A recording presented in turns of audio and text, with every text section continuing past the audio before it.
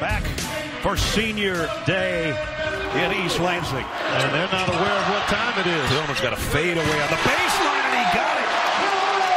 What a shot. The energy was unbelievable. You know, we didn't necessarily know that that was going to be our last game, but what a way to end the season. The momentum was huge. I feel like everybody was getting on the same page. You know, as the Spartan away towards the end of the season, we, we began to play our best basketball, but, you know, we felt good as a team and we were ready to compete. Look at that look on his face as he comes down the court. Crowd is going absolutely crazy as the lead goes to 20. And it's a share of the Big Ten crown for the third year in a row for Sparty. Well, guys, I have some somewhat shocking news that I am being told right now, and that is that the tournament, as of right now, and again, this is literally something I heard within the last 30 seconds, is being canceled. We had the bus loaded, ready to go, and uh, we kind of just put a halt on that. It was a weird time. You know, it was kind of like you didn't, you didn't really believe it was happening. You know, even though we didn't get to finish the season technically, it's behind us. It's a clean slate, new season. Um, I think we can take the momentum that we had from last season and bring it into this season.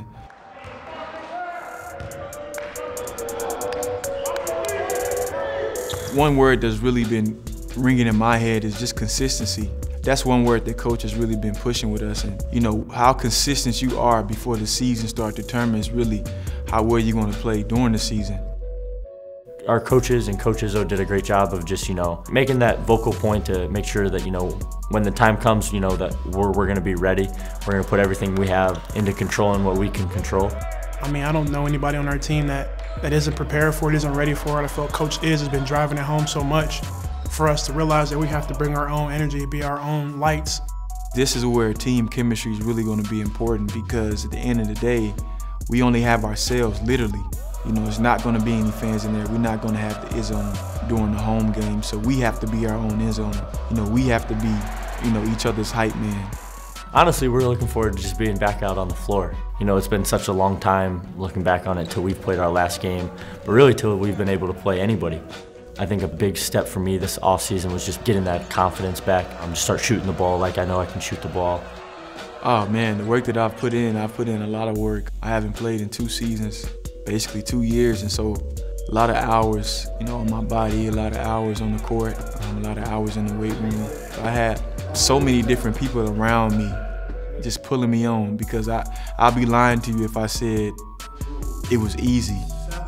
Everyone knows the player that Josh is, and he's made such strides progressing from his injury that now he's full go, 100%. And just to have him back and uh, and playing like the, the Josh that we know, it's been unbelievable just to kind of see the transformation.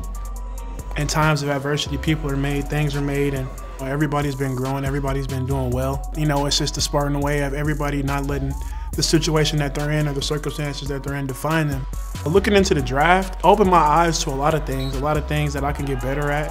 I haven't finished enough in college yet. There's still stuff that I want to do. I mean, I've been to a Final Four, but I never won one. And just playing with my teammates, my brothers are like my family, you know, and just being there for them.